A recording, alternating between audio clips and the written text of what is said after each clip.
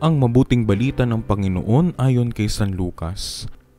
Dapat laging manalangin at huwag masiraan ng loob. Ito ang sinabi ni Jesus sa kanyang mga alagad sa isang talinghaga. Sinabi niya, sa isang lungsod may isang hukom na walang takot sa Diyos at walang pakialam sa mga tao.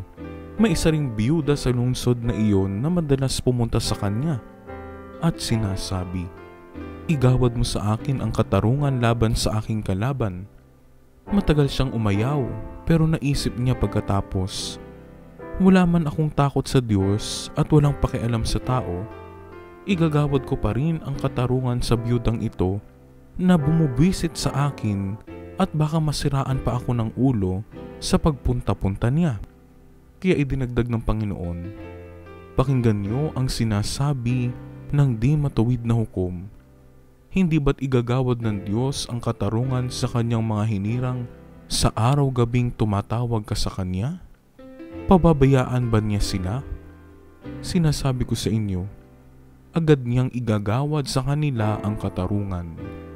Ngunit pagdating ng anak ng tao, makakakita kaya siya ng pananampalataya sa lupa?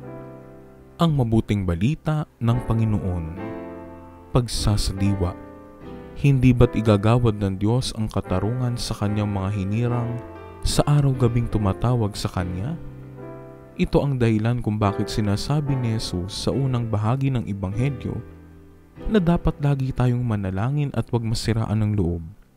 Hindi niya ibig sabihin na lagi nating makukuha ang ating hinihingi sa Diyos kung magtatiyaga lang tayo sa panalangin.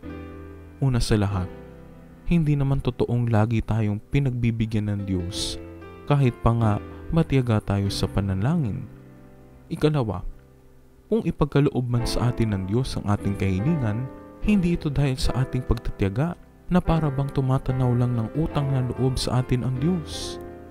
Sa madaling salita, ang binibigyan diing dito ni Jesus ay hindi ang kakayahan ng taong magtiyaga sa panalangin, kundi ang kabutihang loob ng Diyos at ang kagustuhan at kakayahan niyang tumugon sa ating mga pangailangan. Dapat tayong manalangin lagi at huwag masiraan ng loob. Hindi upang pakinggan tayo ng Diyos, kundi dahil tiyak tayong nakikinig ang Diyos sa atin. Pagsasagawa Bakit ka gumagawa ng mabuti sa ibang tao? Dahil mabuti rin sila sa iyo? Kaya mo bang gumawa ng kabutihan kahit na sa taong nakasakit o gumawa ng masama sa iyo.